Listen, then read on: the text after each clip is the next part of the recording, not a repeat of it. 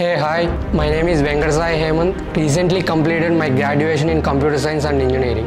I am really happy to share that I got placed after completing AWS DevSecOps course in VCube Software Solutions. My trainer is Mr. Madhukar Reddy sir. Sir supports and explain real-time concepts in a simple way. This course helped me to understand how to secure a DevSecOps process on AWS and it gave me confidence to face the interviews. Thank you VCube for helping me to start my career in cloud and DevSecOps.